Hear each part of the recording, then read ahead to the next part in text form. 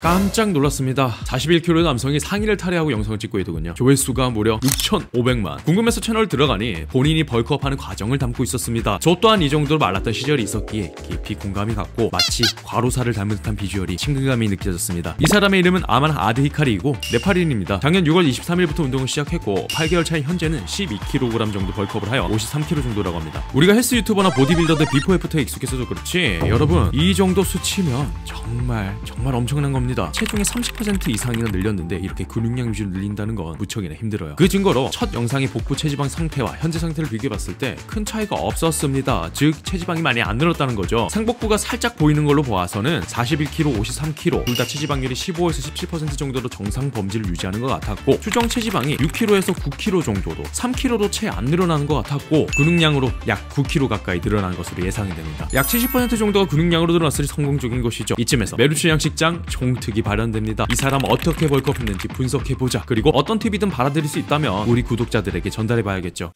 그런데 여기서 문제가 생겼습니다. 메르치 벌크업엔 식단이 가장 중요한데 네팔인들의 식사는 도무지 알 수 없는 것들이었습니다. 네팔이 한국인들에겐 익숙치 않은 국가니까요. 하지만 방법을 찾아야겠죠. 마침 우리 양식장에서도 네팔은 아니지만 바로 이웃 나라의 미얀마 수강생이 있어서 물어봤습니다. 자기소개해 주시겠어요? 네, 안녕하세요. 저는 미얀마에서 온 수완타 우이라고 합니다. 한번 영상 보실게요. 아, 이거 많이 진짜 많이 많은데 전에도 보고요.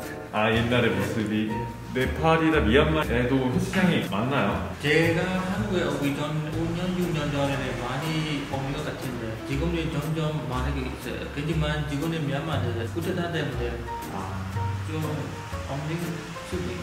그 저희가 이 유튜버가 먹는 거 음식을 봤는데 잘 모르겠더라고요 어떤 음식인지 어떤 음식인지 좀 말씀해 주시겠어요? 제가 보니까 고기하고 콩, 콩 들어가는 것 같아요. 그럼 여기에는 뭔가 단백질이 단백질 들어가서 많이 많이 것 같아요. 콩이랑 국 같은 거는 고기국 소고기하고 양고기 음.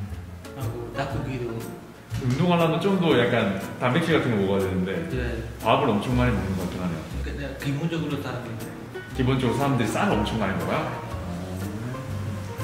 12kg를 벌크업했길래 분석을 해봤지만 사실 큰 팁은 없었습니다. 하루 세번 이상의 식사를 고루 챙겨 먹고 운동을 하는데 오히려 한국에서 하는 식단에 비해 꽤나 부족하고 헬스장도 열악해서 별다른 루틴 또한 없었거든요. 그래서 이런 생각이 들더군요. 정보가 넘치는 이 시기에 뭐가 가장 좋은지를 따지면서 운동법과 식단을 찾아 헤매고 있습니다만 그 방법과 정보보다 중요한 건 망각한 게 아닌지 싶습니다. 말은 그 몸을 탈출하겠다는 굳은 의지와 노력 그리고 시도지요. 이 유튜버 아마는 자신의 그 의지를 유튜브로 공개했습니다. 6천만 명의 사람들이 그를 보고 응원을 하고 있지요. 저희 츠 현장에서도 그 의지를 응원하기 위해서 벌컵에 도움을 주고자 오톱 한 박스를 네팔로 발송했습니다. 예전에 벌컵 특징 하나로 SNS에 우리의 목표와 의지를 업로드하는 것을 말한 적이 있습니다. 의지는 나 혼자 머금고 있을 땐 합리화와 포기를 할 수 있습니다. 이 의지를 남들과 공유할 때 우리는 훨씬 더 책임이 생기고 성공할 가능성이 높아지죠. SNS에 올리는 게 부담스럽다면 오늘 이 영상 댓글에 여러분들의 의지를 담아 목표 체중과 기간을 남겨보시는 게 어떨까요? 오늘 영상은 여기까지 하도록 하겠습니다. 유튜버 아만의 의지를 리스펙하며 항상 건강히 살찌리 하루 되시길. 무료추영장이었습니다.